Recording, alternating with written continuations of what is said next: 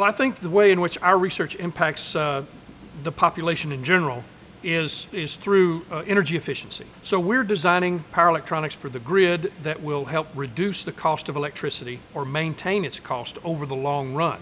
We've been successful in spinning out three companies from our work. So we've provided employment opportunities for people who live in Arkansas, and those products are things that ultimately, when they're uh, incorporated into the systems of the grid or electric transportation or even energy exploration. That impacts the way in which people in Arkansas do their business or live their lives.